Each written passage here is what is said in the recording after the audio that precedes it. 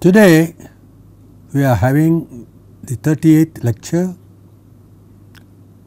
In the last class we had started with discussion about phase lock loop which is strictly speaking a frequency lock loop and discussed some of the applications at the end.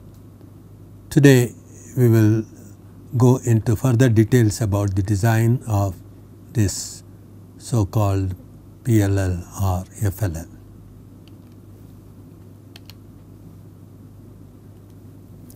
So, we had seen that frequency follower is a phase follower. We had actually earlier the true PLL having a VCP that was getting replaced by a VCO which is an independent oscillator controlled by a control voltage in the loop itself. Okay. So, the omega i is the input and we can consider this in terms of uh, initially when this signal is not applied as having a VCQ here which corresponds to an omega naught q here and this being connected to nothing this PLL has now a free running frequency. This is called the free running frequency which can be set by adjusting the VCO parameters. So, that changes both KVCO which is called the sensitivity of the VCO okay, which is nothing but delta omega naught by delta Vc. So, the VCQ makes this free run at omega naught q and nothing comes out of this low pass filter of even if there is a feed through. Okay. So, output remains continues to remain at VCQ and at which point if one now feeds uh, an input here corresponding to omega i equal to omega naught q. Again nothing should happen. However, this has a component of twice omega naught q at that point and a DC component. So, the DC component corresponds to cos phi because there is likely to be a phase shift of phi between this component and this component. So, that cos phi should be also going to 0. So, that V, Vc remains at Vcq and therefore, the phase shift gets adjusted automatically to pi by 2. So, phi becomes equal to pi by 2 for this. So, it is now phase locked okay, to pi by 2. So, a phase follower frequency follower is naturally a phase follower. The phase detector does not know whether it is the frequency that is varying or the phase that is changing right. So, it just follows the phase. Delta phi naught by delta phi i therefore is equal to 1 by 1 plus 1 over loop gain and the loop gain is made up of these components. It has a DC component which is KPD then KA okay, and KVCO that is what is called DC loop gain okay. and then it has a component here corresponding to low pass filter. So, the actual loop gain is nothing but GLO which is KPD KCVCO KA divided by this transfer function 1 plus S by omega LP where omega LP is equal to 1 by RC. So, if you substitute this as 1 over GL here we get S by GL naught plus S squared by GL naught omega LP. So, this is what is called the natural frequency squared of the system and this is what is called omega n into q okay? And therefore the uh, omega n into q okay will be equated to GL naught. So, we have this.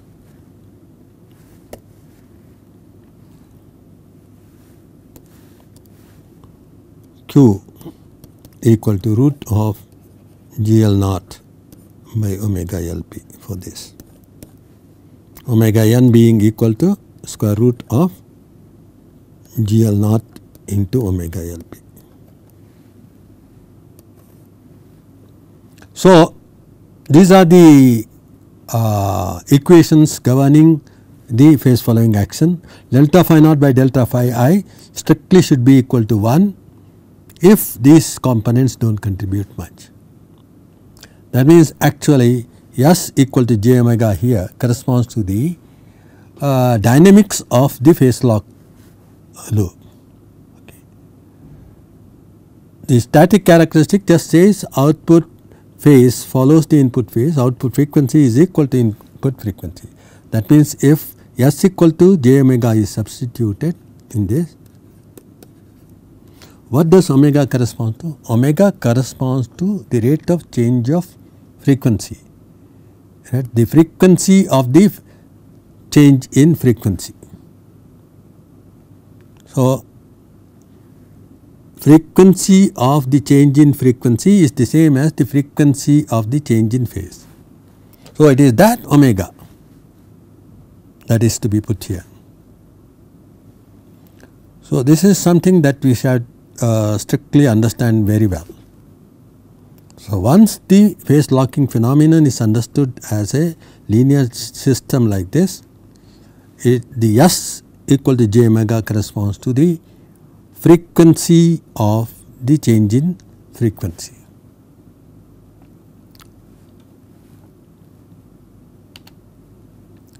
Okay, lock range of this system is actually a static characteristic where we had changed the uh, omega incoming okay, starting from omega naught q and if you plot Vc it will be initially at Vcq at this point corresponding to omega naught q. And thereafter it is going to change on either side this way this way right keep on changing this way right. So, the VCQ is going to change from VCQ to VC of corresponding value depending upon how far away from omega naught q omega i is this way or that way and at one point of time it goes out of lock. Again we start with omega equal to omega naught q go towards this range and it stops at this point right and comes back to the free running frequency. So, this range where it goes out of lock okay, on the either side of omega naught q is called the lock range. And that lock range is governed by the fact that the phase shift if starts with pi by 2 here right it goes on all the way up to let us say 0 on one side and pi on the other side. So, that is uh, the lock range 0 to pi around pi by 2 is the lock range. Thereafter it goes out of lock. If the condition is that the amplifier should not go to saturation and the uh, VCO should fu uh, function in this range satisfactorily as a linear VCO. So, that is the static characteristic of the PLL. And again if we now do not start from omega equal to 0 and go on, on either side, but start with omega i at a low frequency end or high frequency end. Then we had mentioned that omega i minus omega naught q itself is a component which is much greater than omega LP. So, nothing happens at the output of the low pass filter, nothing comes out and therefore, there is no locking taking place. So, when you come this way right if this is omega i equal to omega naught q one has to come pretty close to omega naught q in order to get into the locking uh, mechanism right.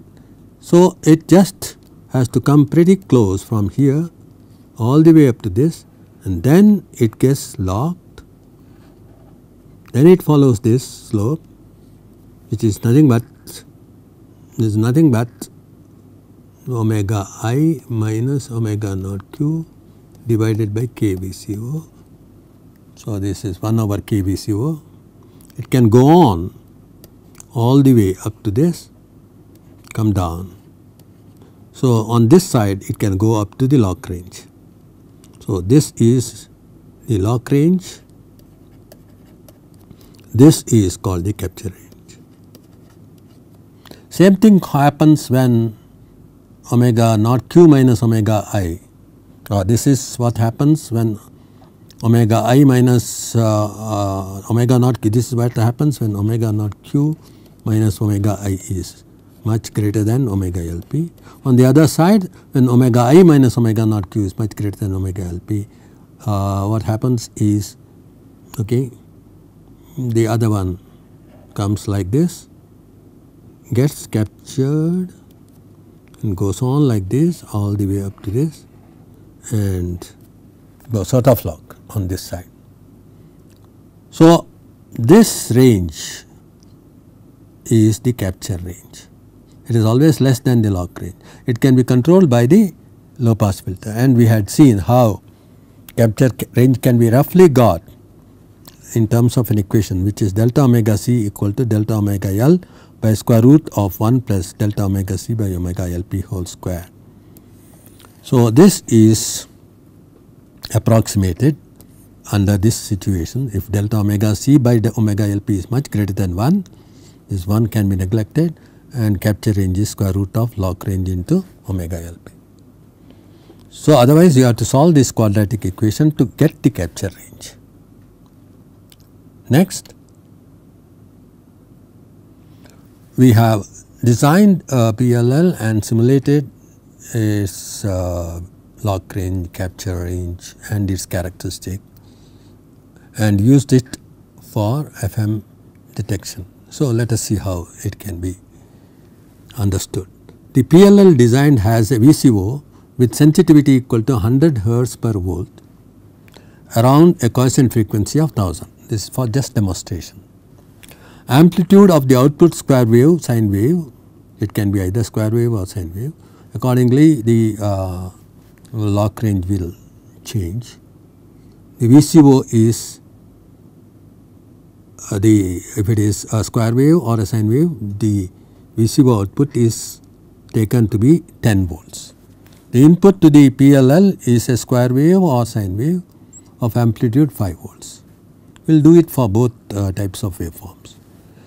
The phase detector is a multiplier Vx Vy by 10 followed by a low pass filter with R equal to 1 K and C equal to 1 microfarad. This is the complete uh, PLL circuit. So, we have fixed all the parameters of the PLL. So, GLO is nothing but that is DC loop gain is KVCO KPD KA. Here we have not put an amplifier. So, uh, the uh, Ka is 1. So, low pass filter output is directly connected to the VCO. So, Ka is equal to 1. This is equal to 1. And KVCO we have taken 100 hertz per volt.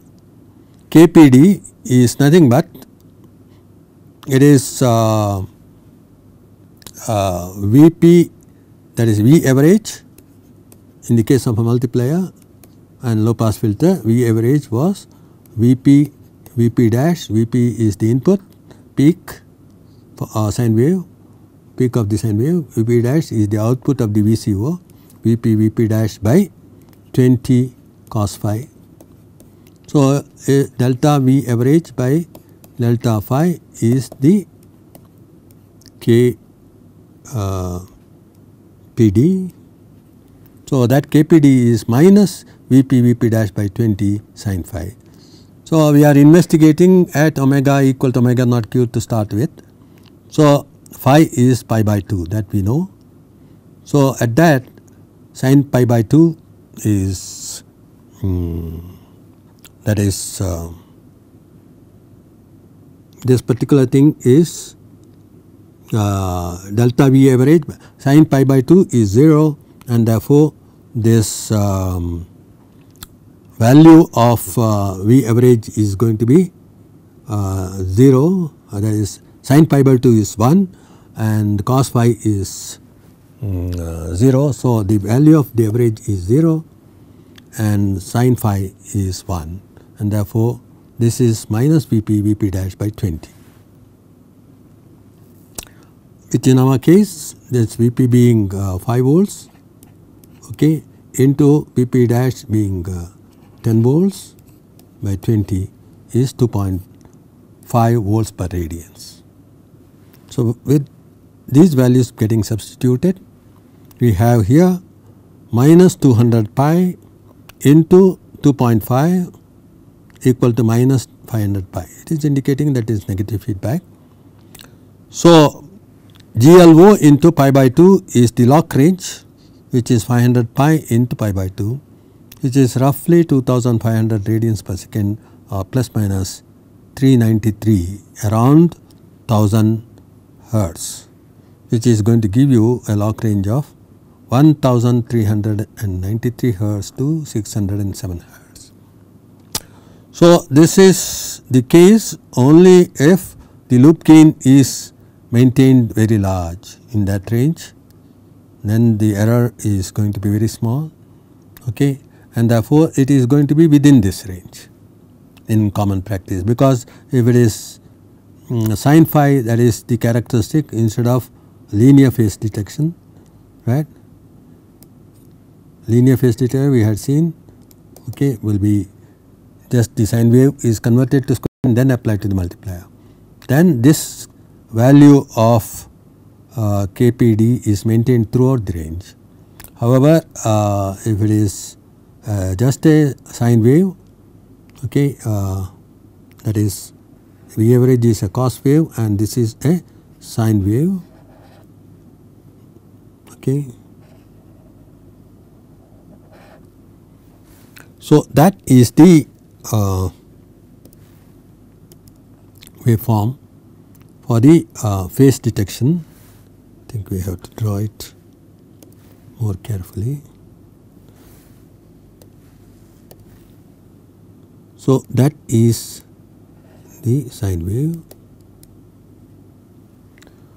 So, this particular thing is going to be the case okay, only around this region of operation, very small region we can take for granted that KPD is constant. As uh, it nears 0 or pi, it goes towards 0.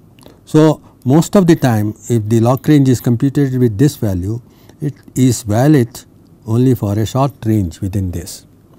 So, it is much less than this as far as the uh, phase detector which is non-linear is concerned. With a linear phase detector it can be almost reached fully. Okay. And if you now substitute for the capture range it is nothing but lock range divided by this you get this and solving this equation quadratic equation one obtains a capture range very nearly equal to 1200 radians per second here and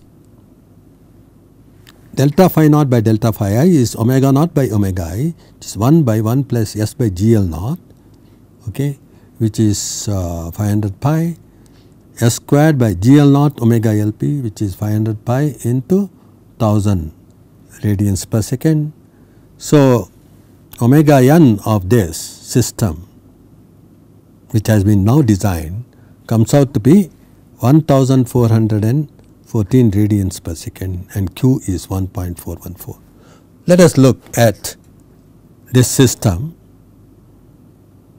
as a sort of low pass filter now. It is the same characteristic as the low pass filter. Okay. So, as far as S is concerned right it is defining the dynamics of this system. That means, I must now have uh, uh, for example, a step input in phase or a step change in frequency. That means, a frequency is change suddenly from one value to another at the input. So, this is omega i initial okay, which may be omega i uh, equal to omega naught q to omega i which is different from omega naught q. So, that is a step change in frequency. It is equivalent to finding the step response of this. So, what should happen is if you see the uh, control voltage it will have to change suddenly from VCQ to any value of VC as a step strictly, but because of this nature that it is going to be changing in this manner. So, this is the process of capture of one frequency starting from uh, another frequency. This is a step change in frequency and this should be the characteristic if it is a second order and the number of such peaks which can be counted give the value of q. Okay. As ringing frequency corresponds to a close uh, thing for omega n. Strictly speaking it is omega n the square root of 1 minus 1 by 2 q square. This we had already uh, understood when we discuss passive network and low pass filters second order low pass. Same characteristic exists for the PLL also so, let us look at that. So, I have just applied a step input in frequency. So, the frequency at the input has changed suddenly okay, from one value to another. So, what happens here is the DC value is going to change at the input of the VCO okay, from one value to another. So, this is the way and you can see this particular thing peaking like this. This is nothing but the ripple which is still unfiltered. This corresponds to 2 omega i component.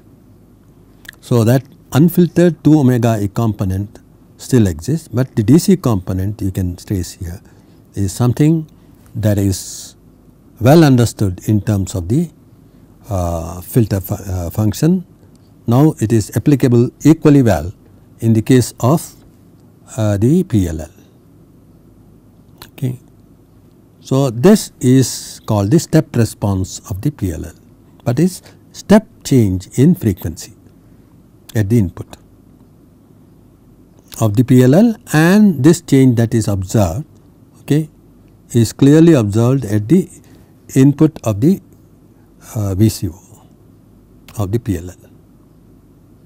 So, when the input is a square wave of 5 volt amplitude and VCO output is a square wave of 10 volt amplitude, the only difference is KPD into pi by 2 which has to be recalculated now because it is a linear phase detector. So, KPD into pi by 2 in this case is nothing but okay, 10 into 5. This 10 volts is the uh, VCO output, 5 volts is the uh, input to the PLL square wave input. And this is corresponding to the multiplier voltage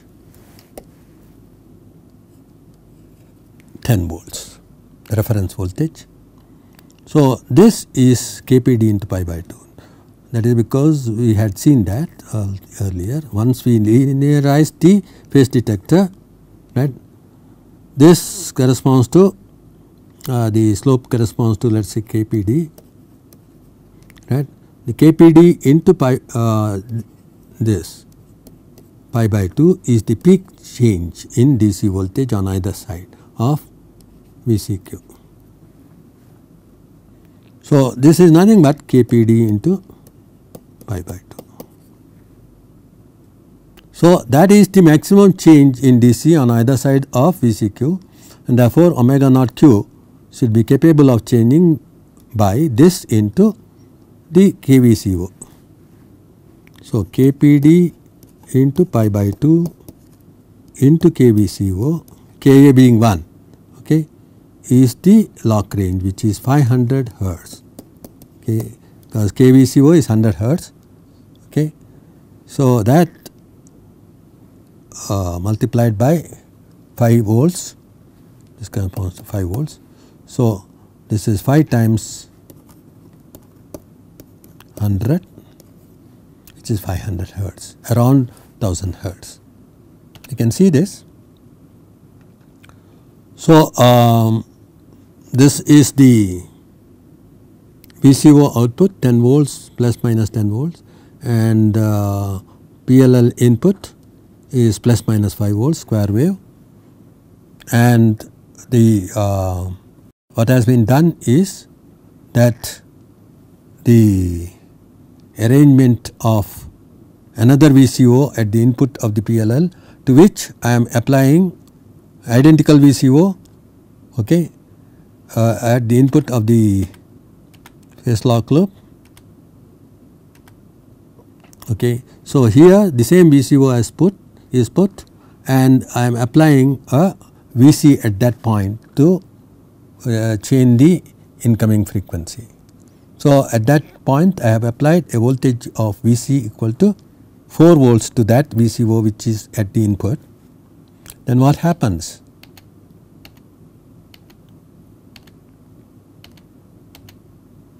So, the arrangement please understand it this way. We have a VCO okay, here and this is Vc.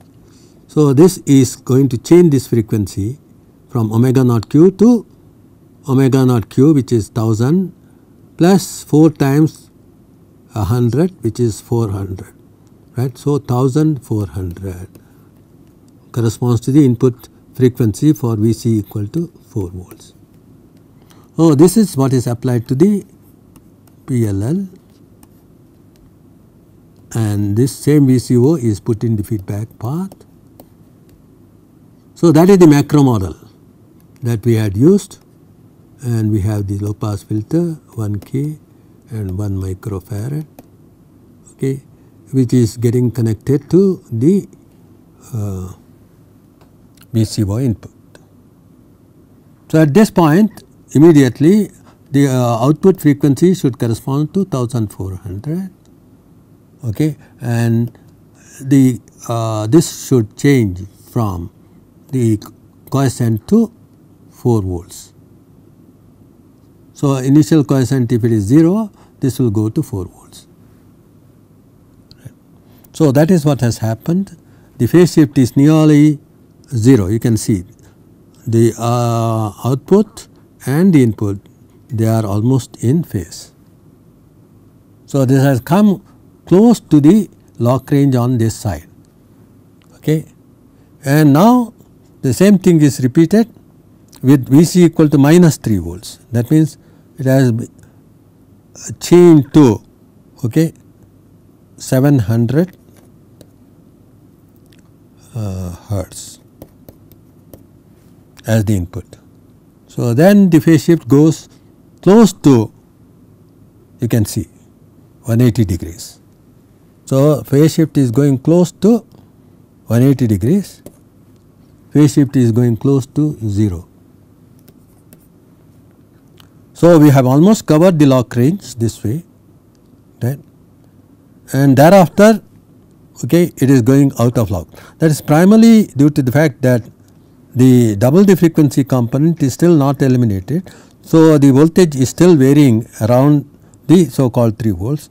So, it is going all the way up to uh, 5 volts and thereafter therefore, it is going out of lock. This is happening more at uh, the lower frequency end okay, than at higher frequency end because the at higher frequency the low pass filter filters it better.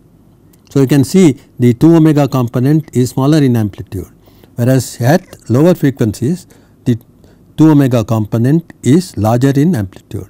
So, that is restricting the lock range to uh, something close to 700 hertz on this side and close to 1400 hertz on the other side.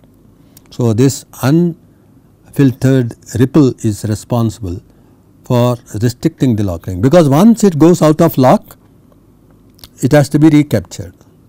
So, that means you have to come closer.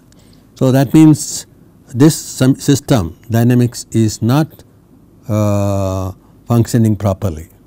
So, it is better to remain in lock range as long as you want to track the change in phase okay, uh, change in frequency that is happening at the input to be followed at the output. So, these are the points that must be borne in mind while designing the system. Okay. So, the lock range has been constrained even though it is a linear phase detector to a value which is less than what is predicted because the actual predicted lock range is 500 hertz on the lower side and all the way up to 1500 on the other side. So, it is restricted by the ripple that is not yet completely removed by the low pass filter.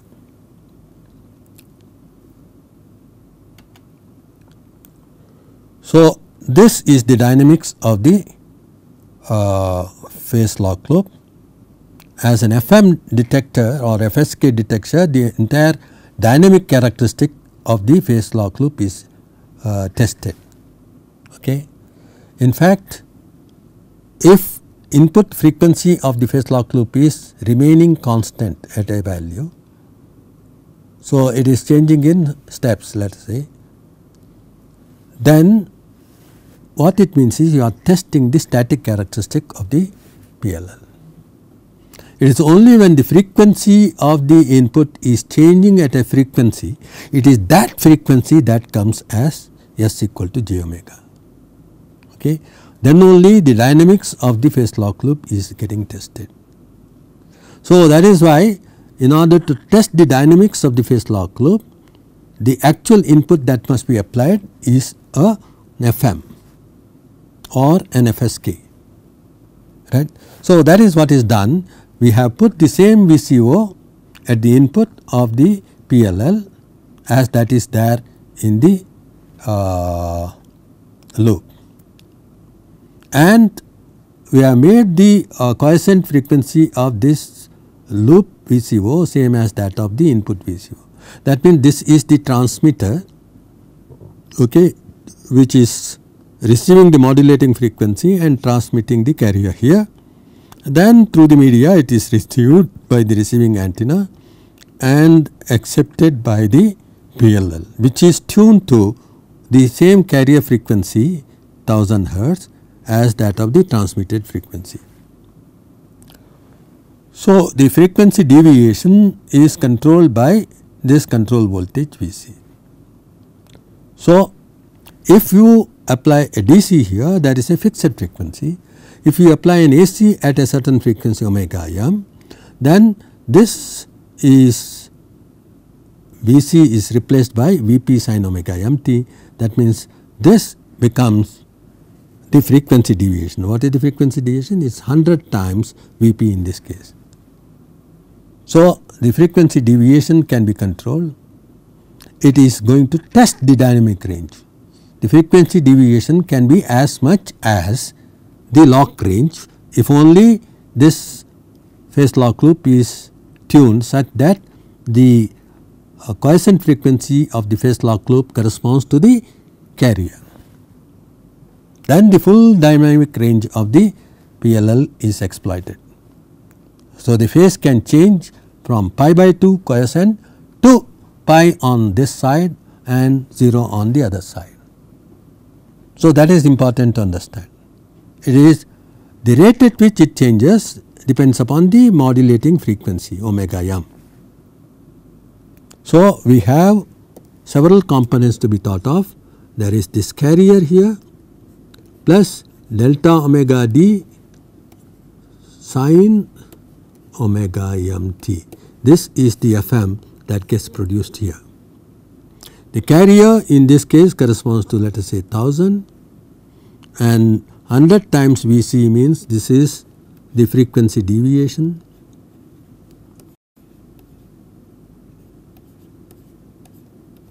You see and this is the modulating frequency.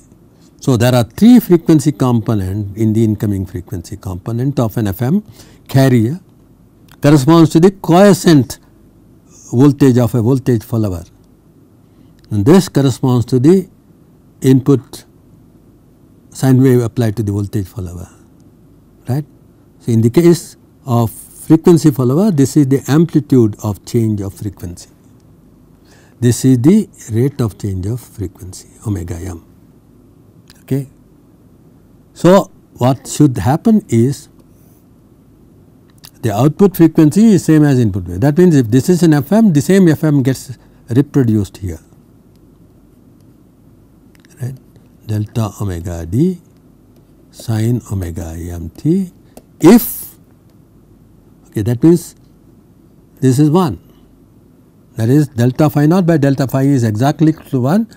This FM that is reproduced is the same as that FM that is coming here except that if omega uh, not q is same as carrier this will be uh, let us say sine of this and this will be cosine there will be a 90 degree phase shift between that sine and this cosine. Is that point clear? That has to be understood well and change in frequencies will be followed exactly. However, if omega m that is the frequency that tests the dynamics of the phase lock loop. Okay, when that is increased, when this is increased, this change in frequency will not be same or the frequency deviation around the quiescent will not be the same, it can actually be more. And that is a danger. Because if it is more right deviating it may go out of the lock range and the system again becomes uh, sort of no use for a linear analysis. So, it has to get captured and come back to the lock range right. So, this is the danger that means the rate at which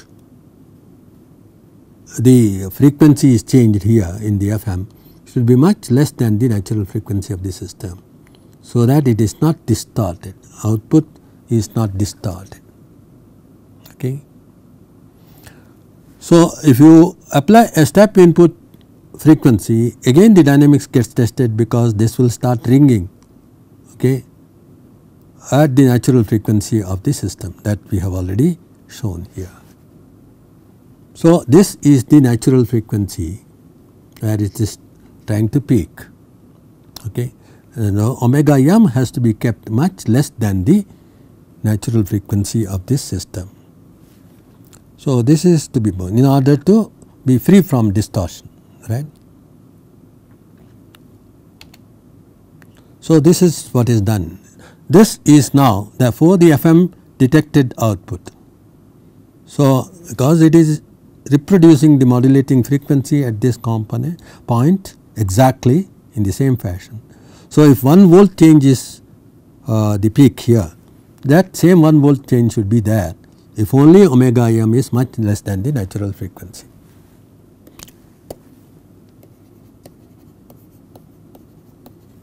Okay.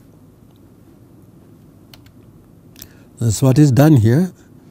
This is uh, the uh, is getting modulated by a sine wave. So, you can see that this uh, frequency is uh, changing okay, at a certain rate right? And uh, it is frequency modulated. Okay. You can see this phase shift changing. Okay.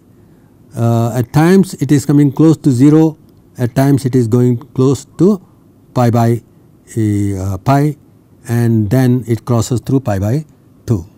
So, phase is changing continuously. This is the modulating frequency.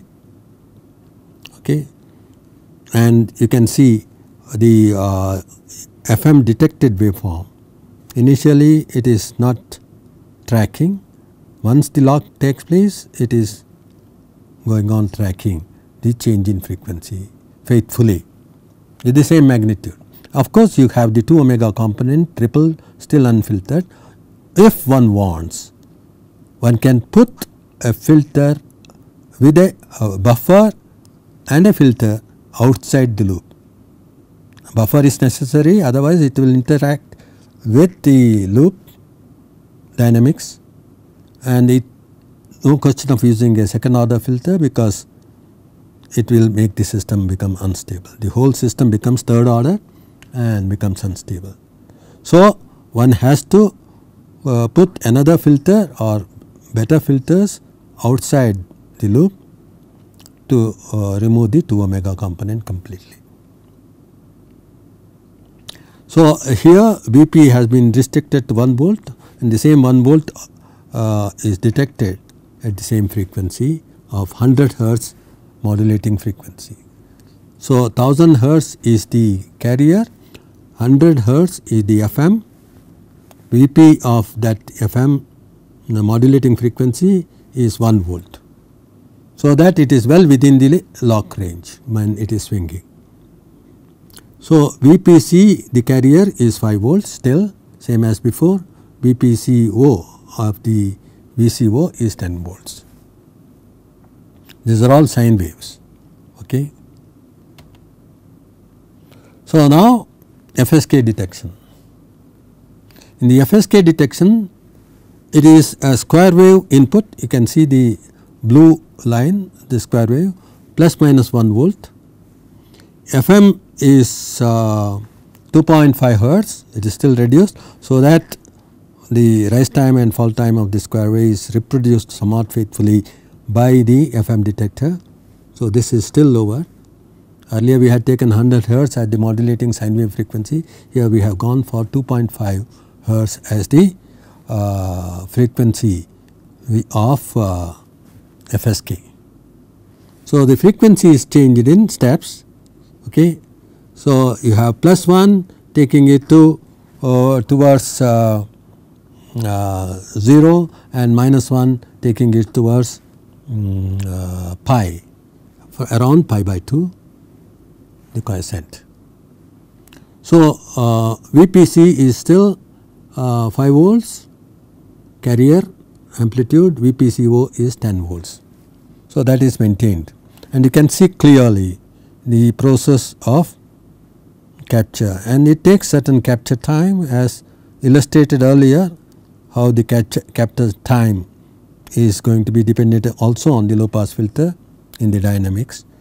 But it depends upon the whole transfer function as defined by us 1 by 1 plus s by omega naught q plus s squared by omega naught square and q being 1.414 you can see just one peak okay here this we had seen earlier also please remember this. So, this is what is seen. So, the same thing is repeated here in FSK. So, this is the reproduction of the uh, pulsed information that is modulating the carrier. This is the FM detected output. This is the 2 omega component riding over this. Now we come to the other important uh, application frequency translation which has been earlier discussed. However, now we are simulating this using an example omega i is the input, omega naught is the output. So, here we get omega i minus omega naught and omega i plus omega naught. This being very high this is eliminated by the low pass filter okay, within. And it responds only to omega i minus omega naught which is the low frequency component. And then there is a shift of delta omega. And therefore, here we cannot decide whether delta omega plus omega i minus omega naught is lower or delta omega minus omega i minus omega naught is the lower frequency component. It can be one of these depending upon whether we want omega naught to be higher or lower than omega i. Okay. So, assuming that it is either this okay, or this, okay, we get an output frequency which is omega i minus delta omega naught or omega naught is equal to omega i plus omega delta omega. So, how this design is done properly is illustrated by an example again. So, here we have chosen 1100 hertz to be derived okay, from 1000 hertz and 100. So, now we want to select 1000 plus 100 and not 1000 minus 100. So, Fi is equal to 1000 hertz, Vp is equal to 5 volts, delta F is a 100 hertz okay, shift okay, which is applied at the other input with Vp equal to 10 volts. So, now what happens is we have tuned this properly. Okay. So, this is the low pass filter output, okay. this is the unfiltered uh, component at the filter. So, one can see that the frequency now selected is 1100 hertz. How do you select it? That means the this particular VCO will have to have the uh, what is that uh, the omega not q that is free running frequency properly selected in order to select the right component. Omega not q has to be pretty close to the uh, frequency that we are wanting to select. So, the best way is when it is uh, FSK detection yeah. When it is 1100 we want to select uh, we better make the uh, other one that we want to reject is 900 hertz. We better make okay our uh, VC omega naught q equal to 1100 that is the best way. So, if omega naught q is made equal to 1100 or above 1100 maybe 1000 uh, let us say 200 as long as we are sure that the lock range is good enough right. We can go from anywhere this to this as the free running frequency of the uh, VCO that is incorporated in this loop of frequency translation. So, when that is done we automatically pick the uh, 1100 hertz which you can see here right? 1100 hertz emerges as the output.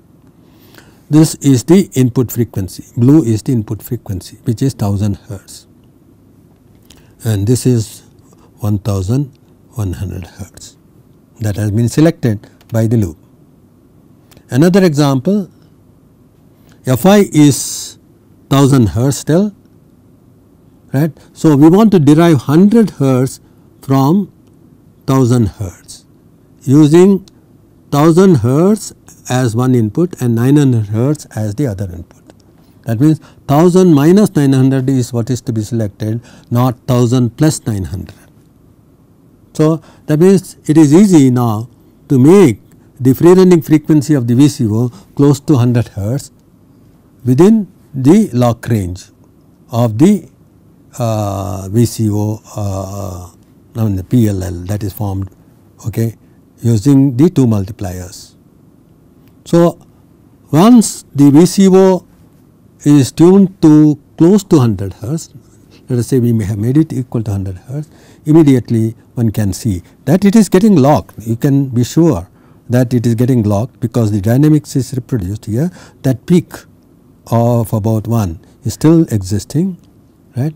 So, it starts okay, and gets locked okay, and then you can see the output is the 100 hertz okay, that is selected okay, when 1000 hertz is one input and 900 hertz is the other input. That is frequency translation for you. So, this is an important loop in frequency synthesis apart from uh, multiplication. So, that is simple you put a uh, you fake the VCO to act as VCO with a uh, counter okay, which will count down. So, that it is dividing by n. So, divide by m divide by n counters are put that we had illustrated in the last class okay, and you can get a, a frequency multiplication by m divided by n that way. So, coupled with frequency translation it becomes a powerful tool for exact frequency synthesis. Speed control of motors nothing but again reproduction of the PLL in terms of electrical components. So, the power drive here running a motor with what I called as optical tacho generator which is nothing but uh, the shaft connected with a disc with slits in the circumference and an optocoupler okay, which will convert the whole thing into rotation into a series of pulses here. So, omega naught output of the oscillator here which is an electrical oscillator is 2 pi into n is the rpm of the motor that by 60 revolutions per second into okay, number of pulses outputted per second which is n number of slits. Okay. So, yeah, every revolution produces n pulses. So, it is a pulse generator right with this frequency. So, uh, this is the same phase detector, loop filter, filter may not be necessary because the power uh, drive itself uh, that is the motor itself acts as a low pass filter. So, this is the speed control of motors. AM detection. AM comes from the uh, let us say antenna right and goes through a limiter so that the AM is removed here. So, only the carrier gets selected here right. So, uh, but several carriers might just appear here. So, this has to be frequency selective now that means this is uh, one of the ways because both in FM detection and AM detection this PLL acts as a frequency selective device and selects the carrier that is corresponding to omega naught q. Okay. So, if you want a certain carrier to be selected it is necessary to tune this omega naught q and you select the carrier that you want to select okay, uh, at this point as omega naught q. Now, this carrier is reproduced here, but only with a phase shift of 90 degrees then if this is therefore sin omega ct this will be cos omega ct. So, if you multiply cos omega ct with the uh, am corresponding to that carrier you will still not get any output because of the phase shift of pi by 2. So, there is a phase shifter which is preferably pi by 2 let us say. So, that this becomes the same carrier in phase as the input carrier that is selected.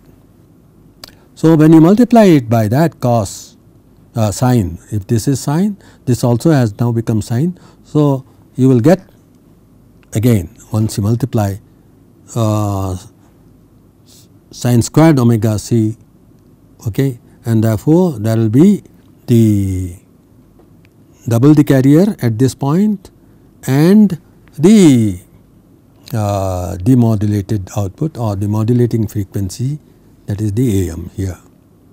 So, that gets detected at this point. So, this is a frequency selective or synchronous detection.